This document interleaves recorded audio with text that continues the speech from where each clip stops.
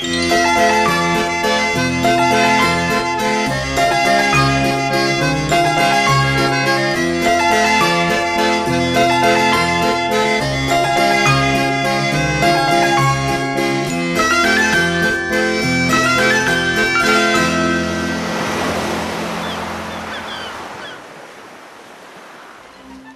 Техніка розпису по тканині це особливий світ, сповнений фантазії, вишуканості, чарівності. В одній з наших попередніх програм ми розповідали про батік.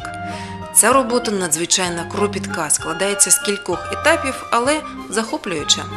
Холодний батік вимагає від майстра посидючості, терпіння, а також деяких важливих знань про особливості роботи з різними тканинами, контурами і фарбами.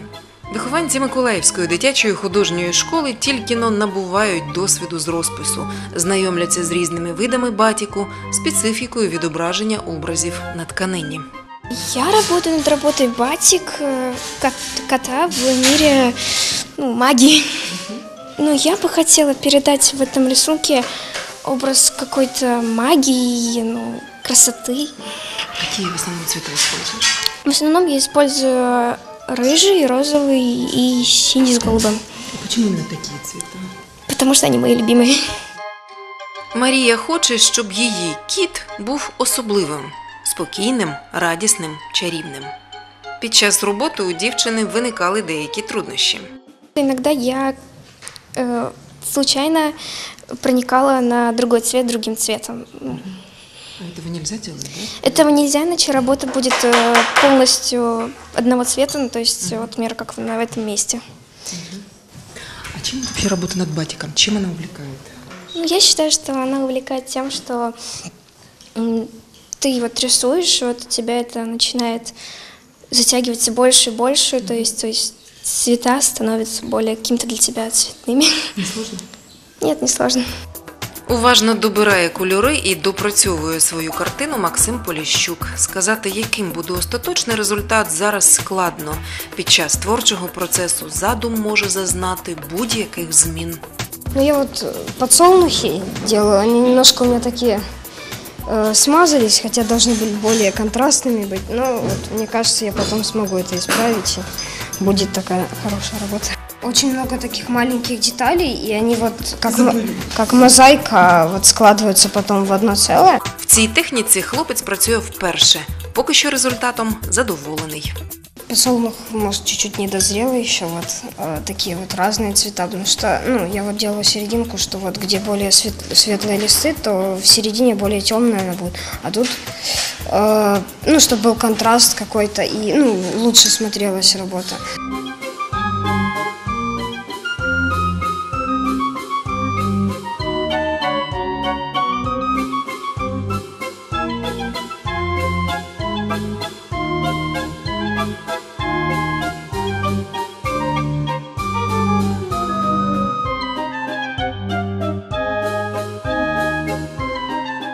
цьому році робота ученика дитячої художньої школи Іллі Мозгачова Червоний півень посіла перше місце на всеукраїнському конкурсі Об'єднаємося ж брати мої. Дубликат первый я недели три, наверное, работал. Второй, конечно, быстрее. То, что я хотел нарисовать, так и получилось. Мне нравится, когда рисуешь, э, как краски расплываются. э, Красиво очень получается. И всегда получается то, что хочешь, или что-то неожиданное? Что-то неожиданное. Отже, пропонуємо разом з учнями дитячої художньої школи пригадати, з чого починається батік. Перший етап творчого процесу надзвичайно важливий це вибір теми. С эскиза, правильно. С выбора формата приблизительного и с выбора эскиза. То есть вы определяетесь с форматом. То ли это будет прямоугольник, то ли это будет квадрат, то ли это будет какая-то форма вытянутая, вот как вы здесь видите, по горизонтали. Э, И выбираете себе объект изображения. Лучше всего э, заниматься на первых этапах э, простые брать формы. Растительные формы, природные формы, ракушки, растения, камни, э, животные домашние, то, что вам близко, то, что рядом, то, что вы можете взять простую форму и сделать из нее декоративную.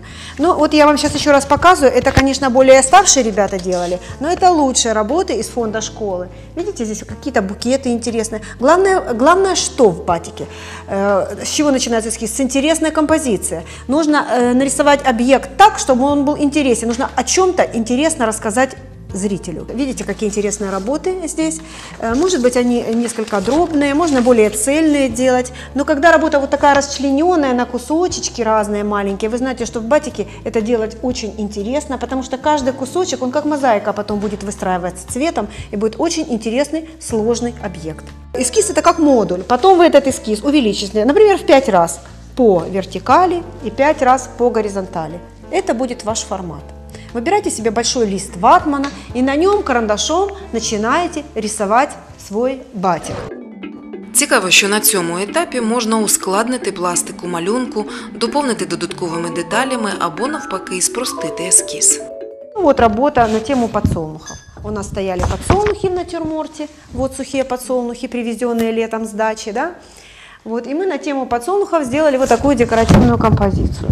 Это работа Данилки Онча, вот, а такую же тему в своей работе вот, э, делал и Максим Полищук тоже. Тема подсолнухов у нас в школе вообще одна из самых любимых. После того, как карандашом эскиз нарисован, он обводится, обводится маркером. Для чего это делается? Для того, чтобы потом, когда мы натянем ткань на раму, этот эскиз прикладываем к раме, она просвечивается, вот просвечивается, и мы можем потом переносить эскиз на ткань. Почему мы не можем это оставить в карандаше? Потому что графитный слой, который от карандаша остается, будет пачкать нашу ткань. Поэтому нужно обязательно, нужно обязательно этот эскиз обвести маркером и удалить остатки карандаша. Для робіт в техніці батік необхідні спеціальні дерев'яні рами. Їх краї мають бути скошеними для того, щоб не пошкодити тканину і фарба рівномірно лягала. Розміри рами повинні співпадати з розмірами картону. Наступний етап прикладаємо малюнок до натягнутої тканини і обводимо олівцем. Вот этот картон был переведен на ткань. Это его родная основа. Э, Вот еще э, ученик не довел резервом. Э, Это остатки еще карандаша. Вот до этого, до этого все было в карандаше. Все было в карандаше. Значит, потом ученик берет резерв, резерв, резервирующий состав и начинает четко по карандашу обводить каждый кусочек нарисованного э, мотива. Лучше делать на первом этапе, когда э, младшие школьники работают, лучше рисовать так, чтобы пятна были, имели замкнутый пери- периметр. Почему? Тогда они осозна- начинают осознавать, для чего вообще существует резерв, его возможности резерва. Э, Резерв обводится э, снаружи, полностью, вся работа обводится снаружи. Потом мы смотрим с изнаночной стороны. И если где-то линия, допустим, прерывистая получилась, то есть фон просвечивается, или, допустим, не дошла, ни человек не довел линию, мы еще, когда полностью оно высохнет с той стороны, а сохнет он 3-4 часа, ставим потом лицевой стороной вниз, подставляем что-то, какую-то основу, чтобы оно не касалось, не касалось основы стола, и начинаем с этой стороны дублировать, дублировать этот контур. Чем мы работаем? Мы работаем штрих-флаконом, в нем находится резерв. И вот таким образом мы работаем по ткани. Резервирующий состав – это э, специальный э, такой э, химический состав. Значит, вот это фабричное производство, резерв для батика, шел, для шелка. А это для всех типов шелка. Можно резервирующий состав э, делать э, в домашних условиях. Но э, там тоже небольшая сложность есть. Э, в основу этого состава входит резиновый клей. Прежде чем начать готовить эту, этот состав, нужно проверить качество этого резинового клея. Даже если вы подберете правильный резиновый клей, бывает у него срок годности прошел, и состав можно не сделать. Э, Рецепты состава можно найти и в интернете. Это приблизительно э, на 40 э, граммов парафина, 40 э, миллиграммов бензина идет, там растворяется на водной бане, вводится канифоль туда. Это все очень сложно. Но э, резерв домашнего приготовления хранится очень недолго. Его нужно сделал немного, выработал. И каждый раз можно его сделать разным. То есть он получится когда-то густой, когда-то средней густоты. Мы резервирующий состав, вот у нас был прозрачный, это считается прозрачным, Вот у него такой цвет, цвет, э, цвет э, кофе с молоком, да, но на самом деле он прозрачный, Он, когда ложится на ткань, становится прозрачным. Э, Он универсальный, этот резерв. Почему? Потому что его можно подкрашивать, его можно подкрашивать масляной краской. Мы обводим, как правило, два раза рисунок, чтобы была качественная обводка. Иногда можно третий раз, просто если где-то рисунок не совпал или какая-то погрешность в графике, мы можем еще третий раз. Конечно, сама вот эта работа по подготовке занимает очень много времени. Потому что э, эскиз перенести в натуральную величину, обвести эскиз, перевести его на ткань, с двух сторон его обвести, вот эта подготовительная работа занимает очень много времени. Но, но это стоит, игра стоит свеч, и после этого очень здорово, когда начинаешь работать красками. А про специфіку цього найбільш цікавого етапу роботи техніці Батік ми розповімо вже в наступній програмі.